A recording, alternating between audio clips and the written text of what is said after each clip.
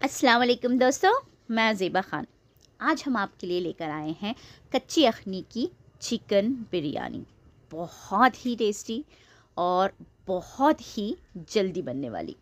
हर कोई इसे बनाकर ट्राई कर सकता है और आप इसका कलर देखिए, गोश्त देखिए, इतना बेहतरीन है ये कि एक बार आपने इसे ज़रूर ट्राई करना है। तरीका हमेशा की तरह हमने बहुत सिंपल रखा है और चिकन गलते हुए वक्त नहीं लगता है राइट तो रेसिपी को पूरा देखना है एंड तक देखना है और हमें ज़रूर बताना है कि ये आपको कैसी लगी। तो चलिए जल्दी से बना लेते हैं कच्ची अखनी की चिकन बिरयानी। इससे पहले मेरे चैनल को सब्सक्राइब कर लीजिएगा और जो बेल का बटन दिख रहा है उसे प्लीज़ दबा दीजिए, इससे आपको रेसिपीज़ की अपडेट मिलती रहेगी। तो यहाँ पर हमने एक किलो बासमती राइस ले रखा है, जिसे हमने एक घंटा पहले भिगा देना है और हमने एक किलो ही चिकन लिया। यहाँ पर हम आपको दिखा दें कि एक किलो बिरयानी के लिए हमने आधा किलो प्याज ले लेनी है। एक प्याज हमने थोड़ी सी बचा कर रखी है, वो हम अखनी में डालेंगे। अब जब तक हमारी प्याज हो रही है, हमने यहाँ पर आधा बगोना पानी चढ़ा दिया है और उसमें अच्छा सा आप अपने हिसाब से नमक डाल दीजिएगा, ठीक है? उसके बाद यहाँ देख सकते हैं आप, कुछ खड़े गरम मसाले, दो तीन दालचीनी, आधा चम्मच काली मिर्चें, दो तीन लौंगे और दो तीन ग्रीन इलायची है। वो सब हमने इसमें डाल देना है, ठीक है? और अगर शाजीरा है तो बेशक आप इसमें ज़रूर डाल दीजिएगा। उसके बाद अब आप देख लीजिए, यहाँ पर हमारी प्याज बहुत अच्छी तरीके से हो गई है।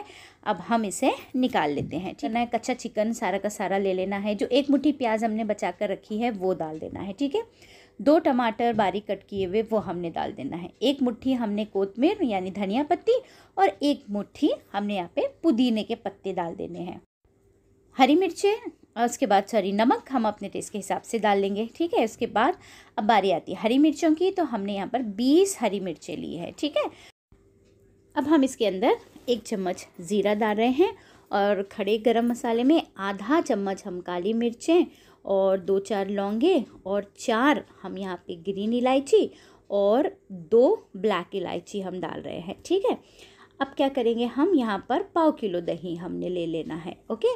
और अच्छी तरीके से इसे फेंट कर हम चारों तरफ़ इसके ऊपर अच्छे से डाल देंगे, ठीक है? उसके बाद ये देखिए, तली हुई प्याज अच्छी तरीके से सब तरफ़ हमने डाल देना है, ब्राउन वाली प्याज। उसके बाद एक कटोरी हमने तली हुई प्याज वाला ही तेल इसमें शामिल कर देना है, ठीक है ना? अब हम इसमें सूखे मसाले डाल रहे हैं तो दो चम्मच हम कश्मीरी रेड चिली पाउडर का इस्तेमाल कर रहे हैं, ठीक है?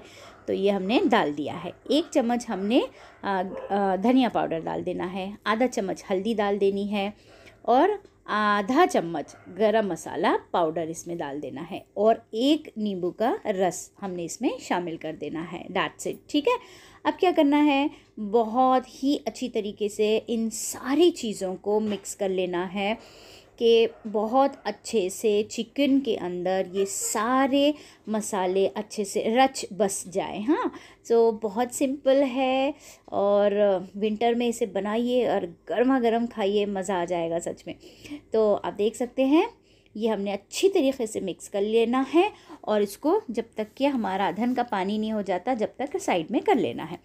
तो हाँ हम अदरक लहसुन भूल गए थे तो हम इसके अंदर दो बड़े चम्मच अदरक लहसुन के डालेंगे एंड अगेन मिक्स करेंगे और बस अब हम इसे साइड कर देते हैं, ठीक है? यहाँ पर आप देख सकते हैं, पानी में जोश आ गया है तो अब ज़रूरत है कि हम इसमें फटाफट से चावल ऐड करें, ठीक है? बस चावल ऐड करने के बाद हम इसे सिर्फ़ sixty to seventy percent cook करेंगे, ठीक है? क्योंकि हमारा चिकन पूरा कच्चा है, इसलिए। तो अब हम आपको दिखा देते हैं। तो कम अज़ कम एक से दो कनी रहना चाहिए इसमें। उतना हम इसे पका लेंगे ठीक है ना? तो ये हो गए हैं। अब फटाफट से क्या करते हैं? हम इसे निथार लेते हैं ठीक है? तो आप देख सकते हैं ये हमारी यखनी है। आ, कच्ची यखनी की आज हम बिरयानी बना रहे हैं और फटाफट से उस पर पूरे हमने ये चावल बिछा दिए हैं अच्छी तरीके से ठीक है? अब क्या करना है? कलर लेना है और कलर को हमने डाल देना है। तो दोस्तों, कौन कब ट्राई करने वाला है? सीरियसली मुझे बताना। हम इसे कवर करते हैं और पाँच मिनट हम इसे स्लो पर एंड अगले सात आठ मिनट हम इसे फास्ट पर कुक करके ये देख लीजिए आप। चावल बहुत बेहतरीन तरीके से बन गए हैं। अब फटाफट से इसे बस सर्व कर लेंगे। तो दोस्तों गर्मा गर्म कच्ची अखनी की चिकन, बिरयानी बनकर तैयार है।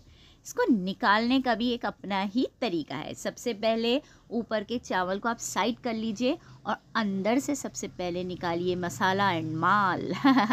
और मसाला आप निकाल लेंगे, चिकन निकाल लेंगे, फिर उसके बाद आप ऊपर से चावल को पर स्प्रेड कीजिए। तो दोस्तों आपको ये कैसी लगी? कौन कौन कब कब ट्राई करने वाला है? और अपने फ्रेंड्स एंड फैमिली में भेजने वाला है? मुझे ज़रूर कमेंट करके बताइए। तो फिर कुछ नया लेकर मिलेंगे। तब तक के लिए इन्जॉय अस्सलाम वालेकुम